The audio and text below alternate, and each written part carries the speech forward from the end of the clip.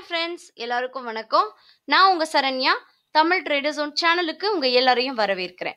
நாம இப்போ இந்த வீடியோவில் பார்க்க போறது இருபத்தி ஒன்பது பதினொன்று ரெண்டாயிரத்தி பதினெட்டு வியாழக்கிழமை பங்குச்சந்தையில் முக்கியமா கவனிக்க வேண்டிய விஷயங்கள் என்னென்ன? குளோபல் அதுக்கப்புறமா வந்து crude oil FID data intraday stocks எல்லாம் என்னென்ன இருக்கு அப்படிங்கறதெல்லாம் கூடுதலாக பார்க்க போறோம். இந்த வீடியோ நிச்சயமா உங்களுக்கு பயனுள்ள தகவலா இருக்கும்னு நம்புறேன். ஸோ லைக் பண்ணுங்க. கூடவே உங்க ஃப்ரெண்டுங்களோட ஷேர் பண்ணிக்கோங்க. இந்த வீடியோக்குள்ளே போறதுக்கு முன்னாடி ஷேர் மார்க்கெட்ல இன்வெஸ்ட் பண்றதுக்கு ஒரு கரெக்டான கம்பெனி தேடுறீங்க. இல்லை எக்ஸிஸ்டிங்கா பண்ணிட்டு இருக்கிற கம்பெனியை விட பெட்டரா ஏதாவது கம்பெனி சூஸ் பண்ணிட்டு இருக்கீங்கன்னா அதுக்கு ரைட் கம்பெனி அலைஸ் ப்ளூனே சொல்லலாம். ஏன்னா அட்வான்ஸ்டான ஆன்ட் சாஃப்ட்வேர் பிளாட்ஃபார்ம் கொடுக்குறாங்க.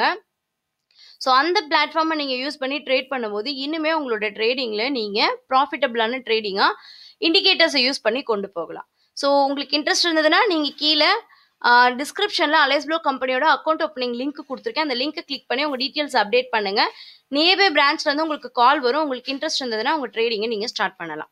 இப்போ நம்ம வீடியோக்குள்ளே போகலாம். இருபத்தி ஒன்பதாம் தேதி கவனிக்க வேண்டிய விஷயங்கள்.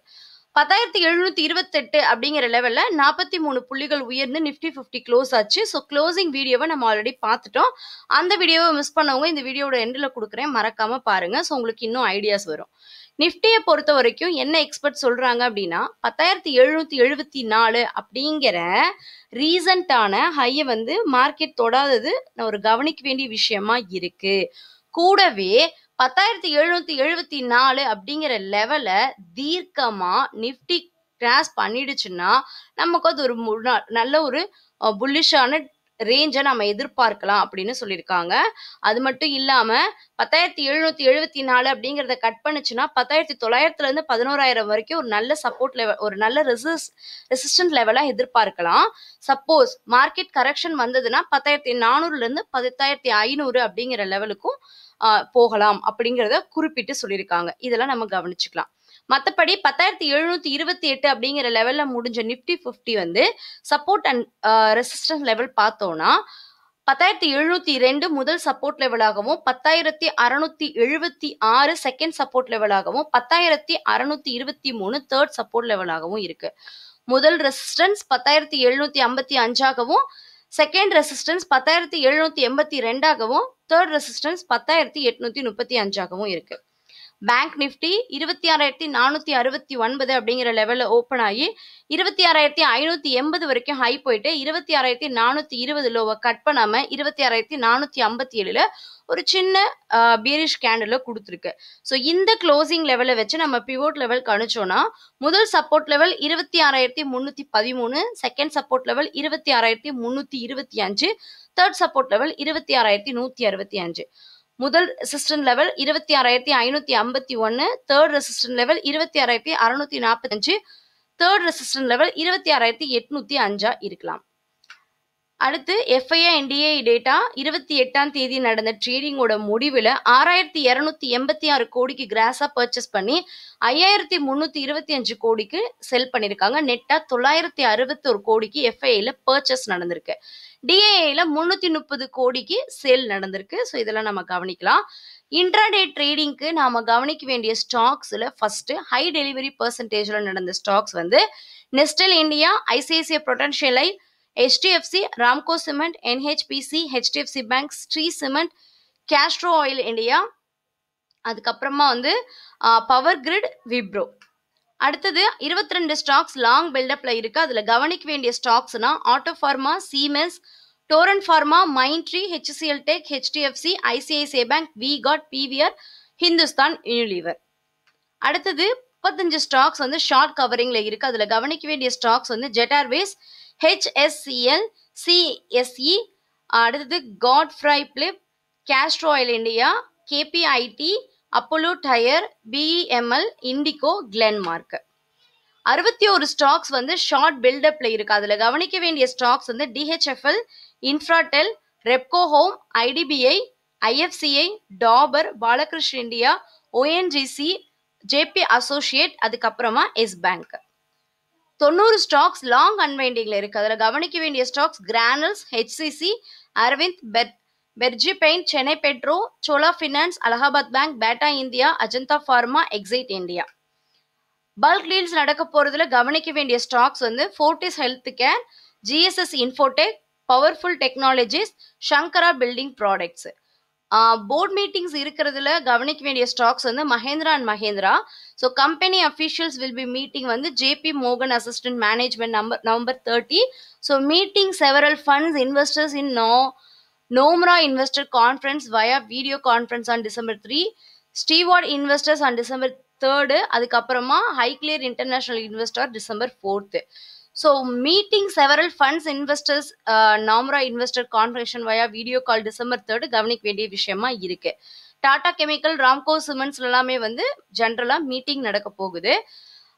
ஸோ அது இல்லாமல் Nestle India Manappuram finance Pidilite industries ஹிந்துஸ்தா Hinduja global சொல்யூஷன்லையும் போர்ட் மீட்டிங்ஸ் ப்ரீஃபிங்ஸ் அனலைஸ்டெல்லாம் இருக்கு. அடுத்தது நியூஸஸ் இருக்கிற ஸ்டாக்ஸ் அப்படின்னு பார்த்தோம்னா அது வந்து டிசிஎஸ் ஸோ டிசிஎஸ்க்கு வந்து ஆல்ரெடி அது நல்லா ஏறிட்டு இருக்கு. அதுல இன்னும் நியூஸஸ் அப்படின்னு கவனிக்க வேண்டிய விஷயம் company acquired the business of bridge point group அதுக்கப்புறம் LLC US management consultancing firm catering to the financial service industry and specialising in retirement services through the purchase of select company assets அடுத்த I IDBI பேங்க்குக்கு இருக்கிற news வந்து bank வந்து confirm பண்ணியிருக்காங்க that is competition commission of India granted approval to LIC to acquire the bank அடுத்து Jindal steel India rating and research assign long term இஷ்யூரிங் rating of BBB outlook ஸ்டேபிள்னு கொடுத்துருக்காங்க. So இதெல்லாம் வந்து முக்கியமாக மூணு ஸ்டாக்ஸ் தான் கவனிக்க வேண்டிய நியூஸஸில் ஸ்டாக்ஸ் வந்து குறிப்பிட்டிருக்கு.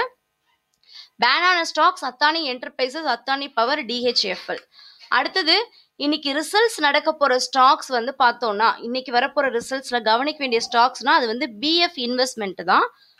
அடுத்தது குளோபல் நியூஸ் அப்படிங்கும்போது நேச்சுரல் கேஸ் இன்வென்ட்ரி வருது. மற்றபடி நிறைய குளோபல் நியூஸ் வருது அப்படிங்கிறதுனால குளோபல் அந்த எப்படி இம்பேக்ட் ஆகுது அப்படிங்கிறத நம்ம வெயிட் பண்ணி பார்க்கலாம். குளோபல் எப்படி இருக்குது தற்சமயம் அப்படின்னா யுஎஸ் மார்க்கெட் நம்ம மார்னிங் பா சாரி க்ளோசிங் வீடியோவில் பார்த்ததை விட கொஞ்சம் பாசிட்டிவாகவே இருக்குது இருபத்தி மூணு புள்ளிகள் உயர்ந்து ஏழாயிரத்தி நூற்றி ஆறில் இருக்குது எஃப்டிஎஸ்சி டேக்ஸு மைனஸில் இருக்குது மற்றபடி சிஎஸ்சி த்ரீ மூணு புள்ளிகள் உயர்ந்திருக்கு. ஏஷியன் மார்க்கெட்டில் நிக்கி பாசிட்டிவாக இருக்குது நல்ல பாசிட்டிவா இருக்குது இரநூத்தி இருபத்தி நாலு புள்ளிகள் கிட்டத்தட்ட ஒரு பர்சன்டேஜ் ஏறி இருக்குது மற்றபடி எல்லாமே பாசிட்டிவா தான் இருக்குது ஏஷியன் மார்க்கெட் எஸ்டிஎக்ஸ் நிப்டியும் இப்போ இருக்கிற நிலையில இருபது புள்ளிகள் உயர்ந்து பத்தாயிரத்தி எழுநூத்தி முப்பத்தி அஞ்சு அப்படிங்கிற லெவல் இருக்கு. ஸோ இந்த நிலை வந்து நாளைக்கு காலையில நைன் ஓ கிளாக் வரைக்கும் கண்டினியூ ஆச்சு அப்படின்னா ஸோ நாளைக்கு நம்மளுடைய மார்க்கெட் பத்தாயிரத்தி எழுநூத்தி எழுபத்தி நாலு அப்படிங்கிற ஒரு நல்ல புல்லிஷ் ட்ரெண்டுக்கு வழிவகுத்து கொடுக்குற ஒரு வாய்ப்பா அமையறதுக்கு வாய்ப்பு நிறையவே இருக்கு. ஆனால் சப்போஸ் ஏதாவது பேட் நியூஸஸ் வந்தது எக்கனாமிக்கெல்லாம் நமக்கு வந்து ரேஞ்ச் பவுண்ட் ஆடுது. ஸோ இன்னைக்கு ஆல்ரெடி நிறைய பேர் வந்து ப்ராஃபிட் புக் பண்ணிட்டாங்கன்னு சொல்லிட்டாங்க. பிகாஸ் ஆஃப் த அந்த கேண்டில் நமக்கு இன்னைக்கு ஃபார்ம் ஆன கேண்டிலை வச்சு இன்னைக்கு வந்து நிறைய பேர் பத்தாயிரத்தி எழுநூத்தி ஐம்பதை தாண்டும் போது நிறைய எஃப்என்டோ எக்ஸ்பைரி கான்ட்ராக்டை வந்து அவங்க வந்து ப்ராஃபிட்டபிளாக கொடுத்துட்டாங்கன்னு சொல்கிறாங்க ஸோ அதனால் நம்ம குளோபலு ப்ளஸ் இன்னைக்கு நடந்த ட்ரேடிங்கோட ஃபினிஷிங் இதெல்லாம் கவனித்து நாளைக்கு எப்படி ட்ரெண்டு ஓப்பன் ஆகுது அப்படிங்கிறத நம்ம கொஞ்சம் வெயிட் பண்ணி பார்க்கலாம். ஸோ நாளைக்கு வந்து கான்ட்ராக்ட் எக்ஸ்பைரி இருக்குது அப்படிங்கிறதுனால அதெல்லாம் நம்ம கவனித்து கரெக்டாக கொண்டு போய்க்கலாம். ரிஸ்க் எடுக்கிறவங்க எக்ஸ்பர்ட்ஸ் கிடையாது. ஜஸ்ட் பிகினர்ஸ் வந்து ரிஸ்க் எடுக்கிறவங்கலாம் ரொம்ப வாலட்டாலிட்டியாக இருக்கும். ட்ரேடிங்கில் வந்து பெருசாக ஃபியூச்சர் அண்ட் ஆப்ஷன்ஸில் போக வேணாம். பண்ணுறதா இருந்தால் கேஷில் லிமிட் எதுவும் எடுக்காமல் ஜஸ்ட் பேசிக்காக பண்ணலாம். ஸோ இது வந்து இன்னைக்கு மார்க்கெட் இருக்கிற நிலம் நாளைக்கு எப்படி இருக்கும் மார்க்கெட் அப்படின்னு ப்ரிடிக்ட் பண்ணுறதுக்கு பேசிக்காக கவனிக்க வேண்டிய விஷயங்களா இருக்குது கூடுதலாக க்ரூட் ஆயில் ஐம்பது ரூபா தொண்ணூறு பைசா இருக்குது ஐம்பத்தி ரெண்டு ரூபா ஐம்பத்தஞ்சு பைசாக்கு போ போன ஹை வந்து இப்போ ஐம்பது தொண்ணூறில் இருக்குது அடுத்தது எழுபது ரூபா அறுபத்தோரு பைசாக்கு நம்மளோட ஐஎன்ஆர் ஸ்டேட்டஸ் இருக்கு. ஸோ நம்மளோட ருப்பி அதுக்கப்புறம் க்ரூட் ஆயில் அதுக்கப்புறமா வந்து குளோபல் மூணுமே நமக்கு சப்போர்ட்டாக இருக்கு. ஸோ ஜென்ரல் இன்ஃபர்மேஷன்ஸ் நமக்கு சப்போர்ட்டாக இருந்ததுன்னா நாளைக்கு மார்க்கெட் பாசிட்டிவாக இருக்கு ஓப்பன் ஆகுறதுக்கு. இப்போ இருக்கிற நிலையை வச்சு பாசிபிலிட்டி இருக்கு அப்படின்னு சொல்லலாம். ஸோ இப்போ பார்த்தா இந்த பேசிக்கான இன்ஃபர்மேஷன்ஸ் எல்லாம் உங்களுக்கு நிச்சயமாக பிடிக்கும்னு நம்புறேன். ஏதாவது ஒரு விஷயத்துல உங்களுக்கு இது யூஸ்ஃபுல்லாக இருந்ததுன்னா I'm happy for it so இதே மாதிரி இன்னொரு முக்கியமான விஷயத்தோட பயனுள்ள தகவலோட உங்களை சந்திக்கிறேன். ஸோ இந்த வீடியோ பற்றின கருத்தை மறக்காமல் கீழே இருக்கிற கமெண்ட்டில் மென்ஷன் பண்ணுங்கள் இந்த வீடியோவில் ஏதாவது ஆட் பண்ணணும் இல்லை இதை நீங்கள் அன்னெசரியாக சொல்கிறீங்க இது பயன் இது தேவை கிடையாது அப்படின்னு நீங்கள் நினச்சிங்கன்னா அதையும் நீங்கள் சொல்லலாம். ஸோ கண்டிப்பாக நான் அதை சேஞ்ச் பண்ணிப்பேன். ஸோ உங்களோட ஒவ்வொரு கருத்தும் எனக்கு ரொம்ப ரொம்ப ரொம்ப முக்கியமானது. ஸோ மறக்காமல் கமெண்ட் பண்ண டெக்ஸ்ட் பண்ண மறந்துடாதீங்க. இல்லை கமெண்ட்டில் சொல்ல விரும்பலை அப்படின்னு நினச்சிங்கன்னா நிறைய சப்ஸ்கிரைபர்ஸ் எனக்கு வந்து வாட்ஸ்அப்பில் டெக்ஸ்ட் பண்ணுறீங்க கால் பண்ணி சொல்கிறீங்க ஸோ நீங்கள் எனக்கு வாட்ஸ்அப்லேயோ இல்லை மெசேஜோ பண்ணலாம். ஸோ அதை கூட நான் வந்து பார்த்துட்டு அதுக்கு தகுந்த மாதிரி சேஞ்ச் பண்ணிப்பேன். ஸோ இந்த வீடியோவை இவ்வளோ நேரம் பொறுமையாக வாட்ச் பண்ணதுக்கு ரொம்ப நன்றி. இதே மாதிரி இன்னொரு வீடியோவில் உங்களை சந்திக்கும் வரை உங்களிடமிருந்து விடைபெறுவது உங்கள் Saranya. Thank you have a great day bye